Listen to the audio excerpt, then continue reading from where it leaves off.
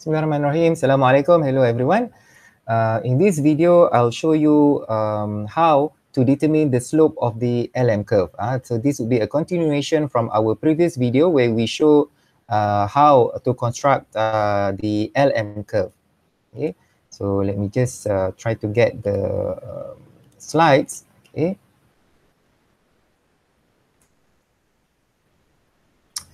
Okay, so this is what we plan to do. We want to uh, look uh, uh, at the determinants of the slope of the LM curve. In other words, we want to know uh, whether our LM curve would be flatter or steeper. Now, to do this, we're going to basically look at, uh, consider this an uh, example where there is an increase in income level from Y0 to Y1. Now, how would this basically be, how would this affect our money market? Okay, so from our previous video, I have shown you that an increase uh, in the um, income level will basically uh, shift our money demand curve to the right. Okay, so this is basically because uh, if you recall, uh, our income level positively affect money demand due to transaction and precautionary motive. Okay, while interest rate affect the demand for money negatively due to speculative motive.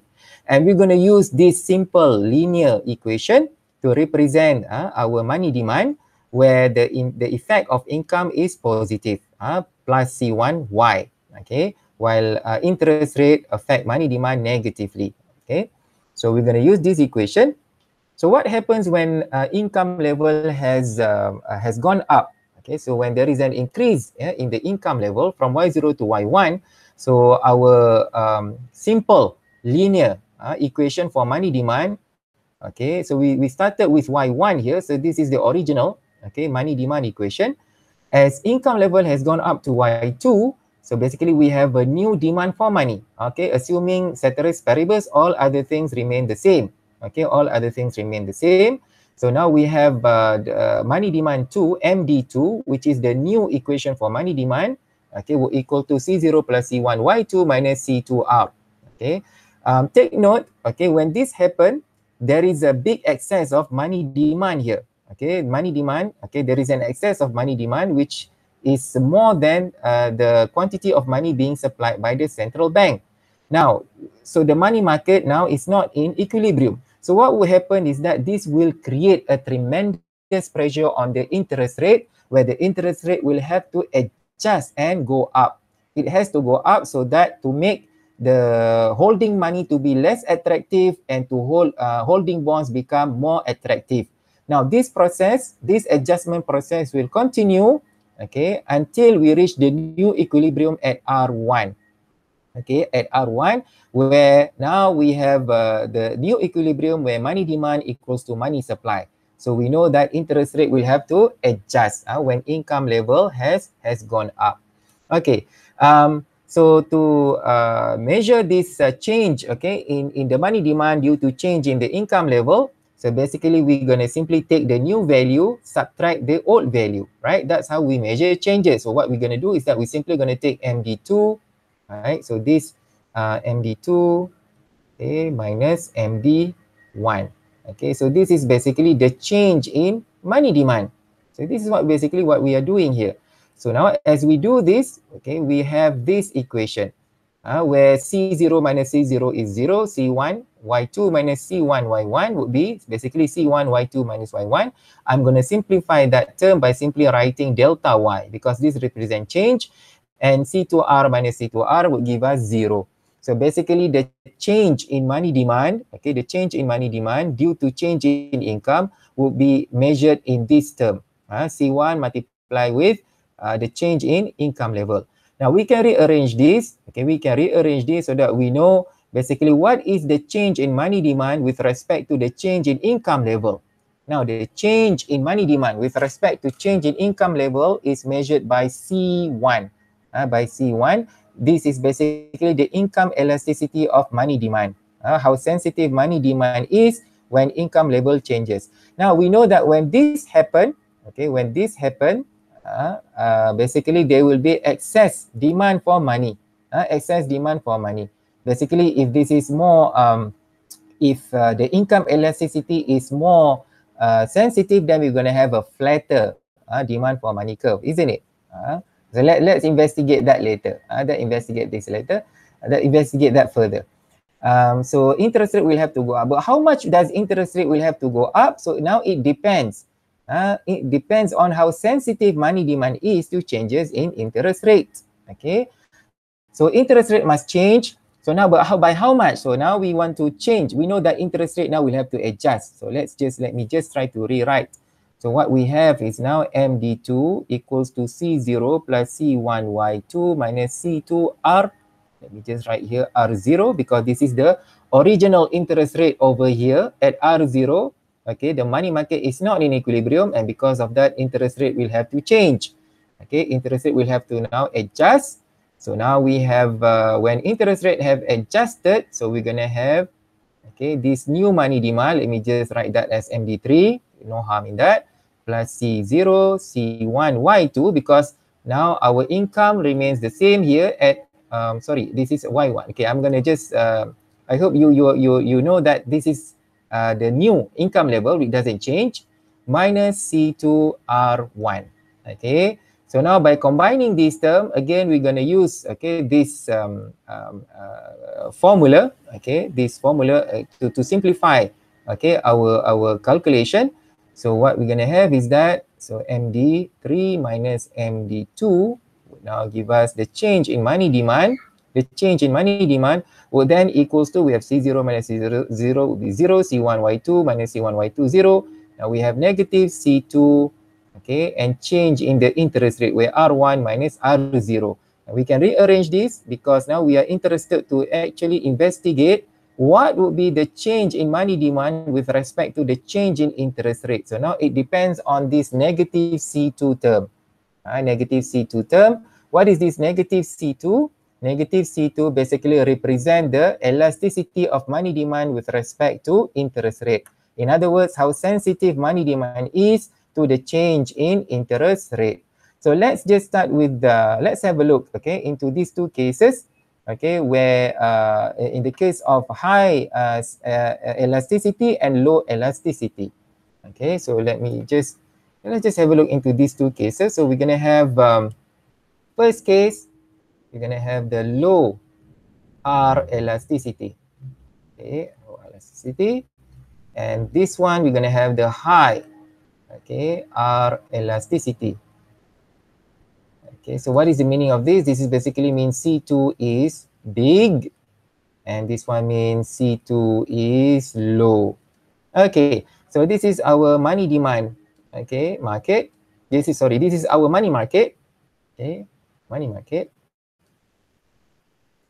Okay, the first case, okay, where the, the uh, our uh, money demand, okay, is, um, let's put here, money demand. Money demand is not sensitive it's not it's not that sensitive to changes okay in interest rate. So let me just put the same money supply okay so if this is our money supply which is exogenously determined by the central bank. Okay um the first case okay first case where the the change okay they are not not really that sensitive okay the change in money demand is not that sensitive so we're going to start with, let's say this is our R0 and this is R0, the corresponding R0. And let's say the interest rate has gone up to R1. Okay, R1. Same distance to R1. So this would be the, let me just put the this point to be the original. Okay, let's say the original, the initial equilibrium. Now, in the case where uh, the money demand is not sensitive to changes in interest rate, that means that when interest rate changes, okay, by a big amount, money demand will only change by a small amount. Okay, so let's say there is a um, excess supply but of money but very little. Okay, very little. There is a drop. Okay, in terms of uh, the um, money demand. So this is our money demand. Okay, for a given level of income, okay, y zero. As you can see, the um, the drop okay the drop in terms of the money demand due to the interest rate is very low okay from this m okay this is our equilibrium m and this is the uh, excess uh, sorry uh, shortage okay shortage of money demand okay money demand we have uh, excess money supply here in this case okay, in this case. So that's why uh, the uh, um, uh, this will not be the, the new equilibrium. Uh, some adjustment will have to take place. But that's not our focus at the moment. We simply want to see how does our money demand curve looks in the case when there is a low interest rate elasticity of money demand. Okay. Now the second case, now when interest rate go up by the same amount, because now the demand for money is very sensitive to changes in interest rate, now the change in money demand will be very huge. So let's say somewhere here, okay, somewhere here.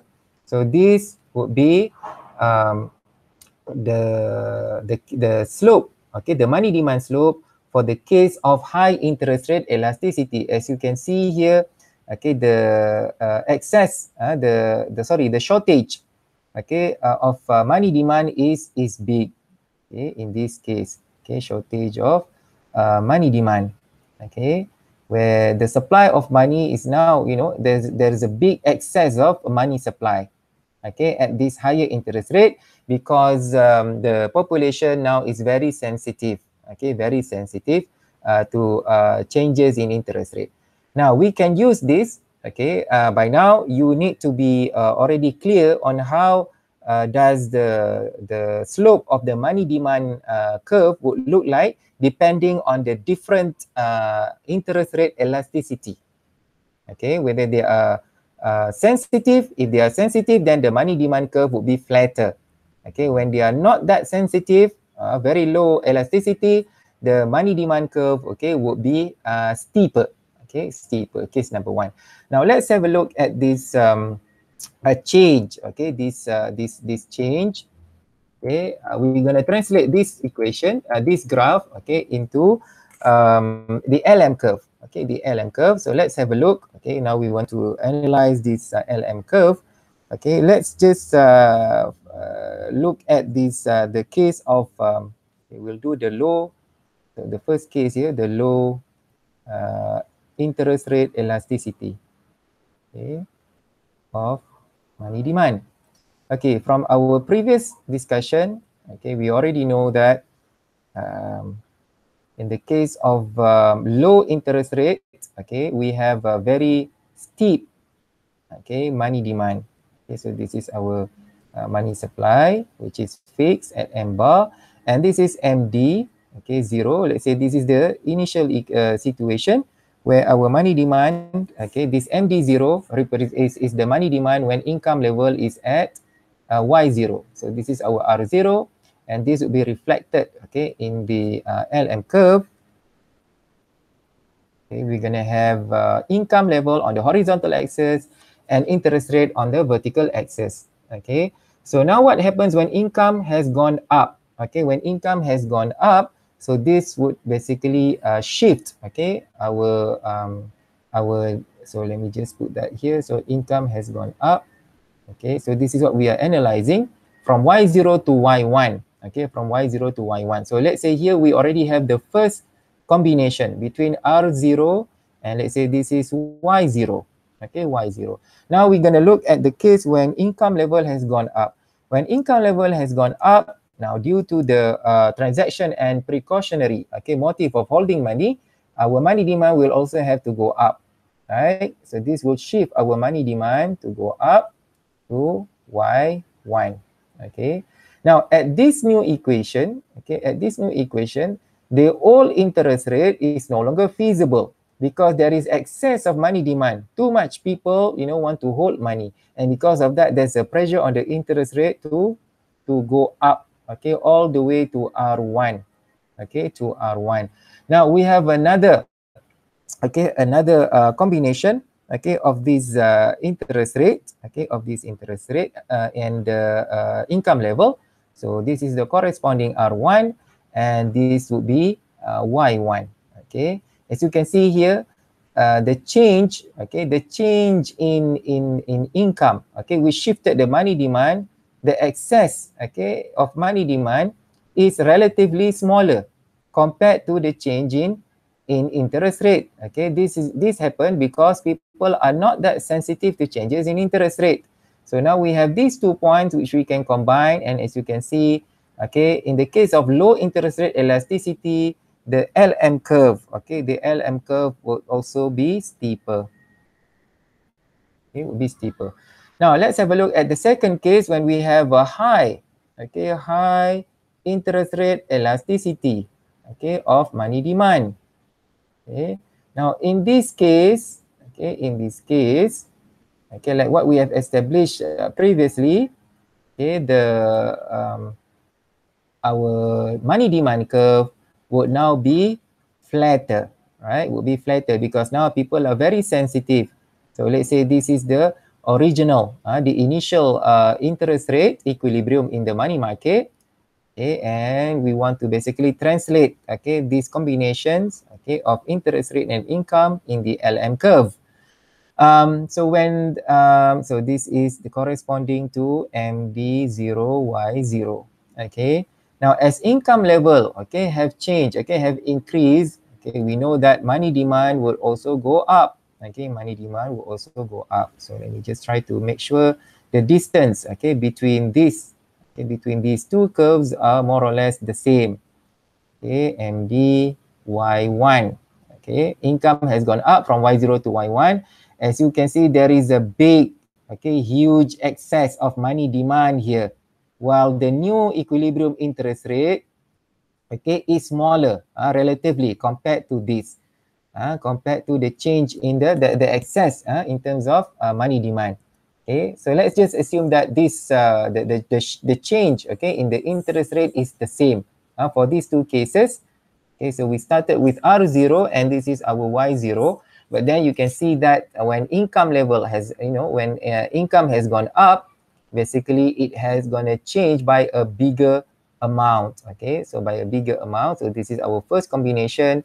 The second combination, okay, will be further to the right because now there is an excess. Okay, the people are very sensitive uh, to changes in interest rate, and this would then translate into why our LM curve is flatter.